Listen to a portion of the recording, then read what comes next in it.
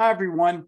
This is my original uh, gut sales method uh, PowerPoint keynote display. Uh, when I first came up with the idea of the gut sales method, I wanted to outline it in mind maps, of course. And um, this is something I have not shared very often with people, and I've never narrated it. Um, it goes back to uh, the whole topic of this package phone fear. Um, everything I teach, uh, overcoming fear, has occurred because I have a system. Systems are so much better than just winging it or using scripts or being in that uncomfortable position. We actually have a sales system. So I wanted to do a brief overview of the system uh, because I thought it was pertinent to this package, not just practicing and role playing and things like that, but having an actual ABC, agenda qualification commitment close system. So I'm going to go over these mind maps briefly. Um, if you haven't, there's also some books in this package. Um, you should read them too. The gut sales method got great untraditional, unorthodox techniques of sales and success. Long mnemonic, I'm sorry. But if I had to say one thing that really got me to overcoming my reluctance and anxiety on cold calls and everything else, it was having this system in my head. And I tried to, and Guts has a lot of different parts. It's question based, and I'm going to go over them right now. Here is our first mind map. Um, and I have a, a, rules of guts, the different moves, prospecting, questions, and this in the very important success staircase. This is what started it all: agenda, qualification, close, or as I like to say, commitment close. Um, so, welcome to the gut sales method. It's it's about prospecting smart. And um, this is an older mind map. Uh, I talked a little bit about virtual attraction marketing, and that's how you prospect. The guts philosophy, we'll go into that, how you, the salesperson comes first.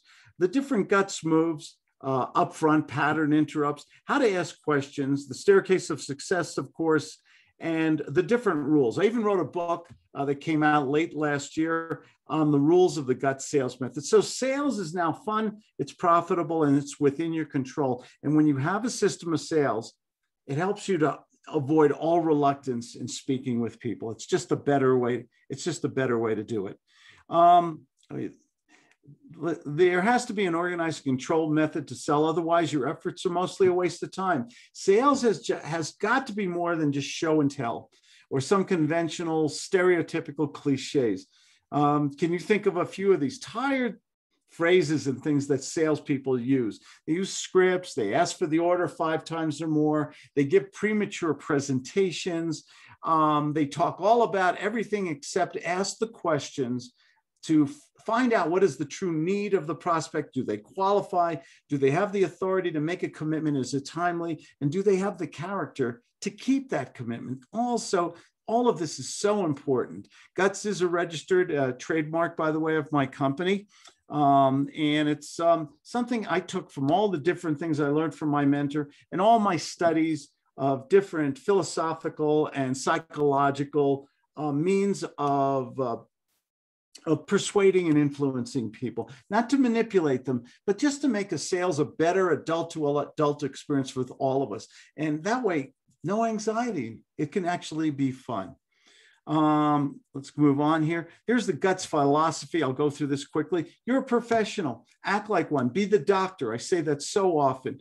You, you have to, the doctor or the lawyer, or any other professional learns to ask questions. Why?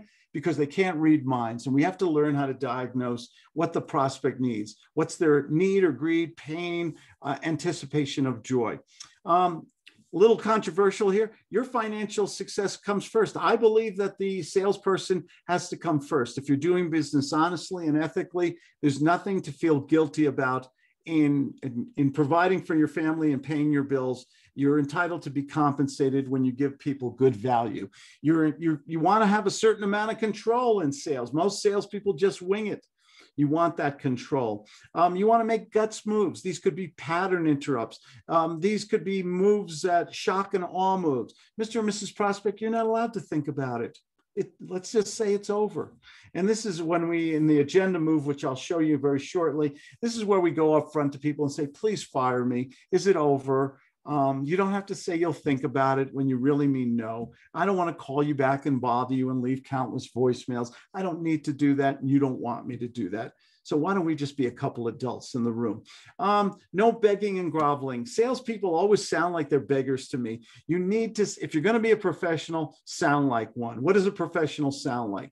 Someone who's assertive, um, a good listener, uh, empathetic. They know how the people feel. Um, you you got to take on that role. Um, if you want a friend, you're not in business to make friends. It's nice if you could, but I think Harry Truman said it. If you want a friend in Washington, get a dog.